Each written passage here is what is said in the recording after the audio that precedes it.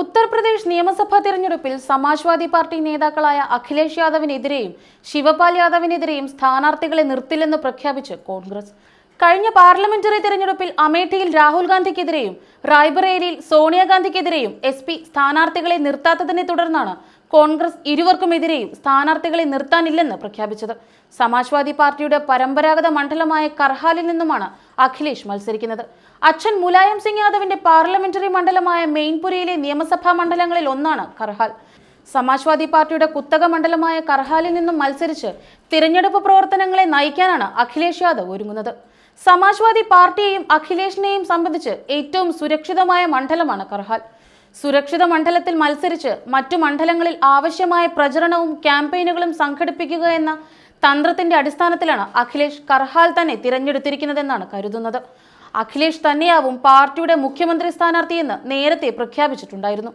ഒരു കാലത്ത് സമാജ്വാദി പാർട്ടിയുടെ സമുന്നതനായ നേതാവായ എസ് പി സിംഗ് ഭാഗയിലാണ് കർഹാലിൽ അഖിലേഷിനെ നേരിടാൻ ഒരുങ്ങുന്നത് മുലായം സിംഗിനൊപ്പം രാഷ്ട്രീയ പ്രവർത്തനം നടത്തിയ ഭാഗയിൽ പിന്നീട് പാർട്ടിയിൽ നിന്നും രാജിവെക്കുകയും ബി ജെ പിയിൽ ചേരുകയും ചെയ്തിരുന്നു. നിലവിൽ മോദി നേതൃത്വം നൽകുന്ന കേന്ദ്ര മന്ത്രിസഭയിലെ അംഗം കൂടിയാണ് ഭാഗേൽ.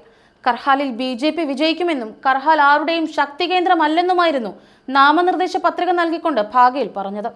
എന്റെ എല്ലാ ശക്തിയും എടുത്ത് ഞാൻ പോരാടും. സമാജ്വാദി പാർട്ടിയുടെ ശക്തി ദുർഗങ്ങളായ കനൌജിലും ഫിറോസാബാദിലും എഡാവയിലും എസ് തോൽക്കുന്നത് ഞാൻ കണ്ടതാണ്. ഇക്കൂട്ടത്തിലേക്ക് കർഹാലും ചേർത്തുവെക്കും വെക്കും ഭാഗേൽ പറഞ്ഞു.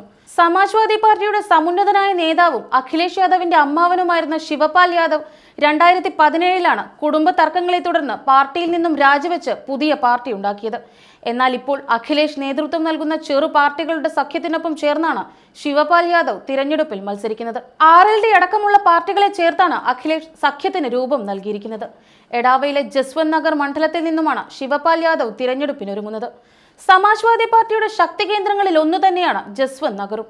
അതേസമയം മായാവതിയുടെ ബഹുജൻ സമാജ് പാർട്ടിയും ഇരുവർക്കുമെതിരെ സ്ഥാനാർത്ഥികളെ നിർത്തില്ലെന്ന് നേരത്തെ പ്രഖ്യാപിച്ചിരുന്നു. നാനൂറ്റി മൂന്നംഗ നിയമസഭയിലേക്ക് ഫെബ്രുവരി പത്ത് പതിനാല് ഇരുപത് ഇരുപത്തിമൂന്ന് ഇരുപത്തിയേഴ് മാർച്ച് മൂന്ന് മാർച്ച് ഏഴ് തീയതികളിലായി ഏഴ് ഘട്ടമായാണ് ഉത്തർപ്രദേശിൽ തിരഞ്ഞെടുപ്പ് നടക്കുന്നത്. തിരഞ്ഞെടുപ്പിന്റെ മൂന്നാം ഘട്ടമായ ഫെബ്രുവരി ഇരുപതിനാണ് കർഹാലിലും ജസ്വന്ത് നഗറിലും തിരഞ്ഞെടുപ്പ് നടക്കുക. മാർച്ച് പത്തിനാണ് വോട്ടെണ്ണൽ.